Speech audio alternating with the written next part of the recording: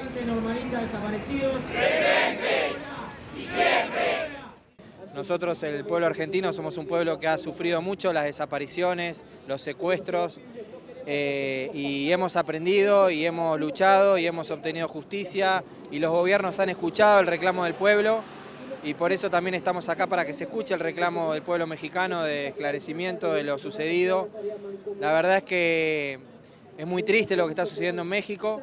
y desde acá lo que tenemos que hacer es solidarizarnos en primer término con el pueblo mexicano y por otro lado darle la visibilidad necesaria para que estos crímenes no queden impunes. La voluntad es poder mostrar digamos, la solidaridad que, que nos genera digamos, todos estos hechos que estamos, que estamos viviendo. Asimismo, como hoy ven, este, este, esta convocatoria que hicimos en el obelisco aquí en la Ciudad Autónoma de Buenos Aires, lo mismo está ocurriendo en otras provincias del país, en Corrientes, en Córdoba, en Santa Fe, en San Luis. Así que es nuestra voluntad poder hacer un grito único respecto a este tema, por eso es que convocamos bajo un lema que es En la patria grande nunca más, con el objetivo de visibilizar que la juventud argentina, la juventud militante que ha recuperado la política como herramienta de transformación, se pronuncia frente a estos hechos, exigiendo que haya justicia y diciendo nunca más básicamente tanto para México como para toda la patria grande, que es nuestra patria también. Y nosotros nos manifestamos esta vez acá, también nos hemos manifestado hacia la Embajada de México, nosotros estamos reclamando con distintas acciones de solidaridad internacional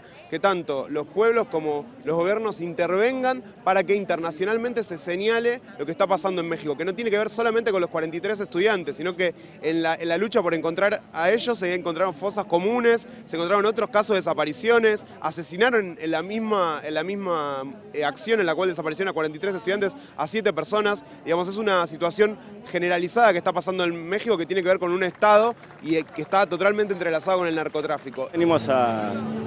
protestar en contra del gobierno mexicano de lo que hizo de asesinar a 43 compañeros estudiantes, a solidarizarnos con con la familia, con los compañeros de esos compañeros, a decir nunca más en serio. Nosotros los argentinos estamos con una carga importante, sabemos lo que, es, lo que son los desaparecidos. Los normalistas tienen una cosa, eh, una, algo que los identifica, que es que justamente tiene una función social muy importante en México como contención de sectores más humildes eh, y su desaparición no es casual, sino que tiene justamente causas políticas. Ellos estaban yendo a manifestarse a, una, a un acto del gobernador de Iguala eh, y justamente por eso fueron interceptados por la policía, que es la que torturó y asesinó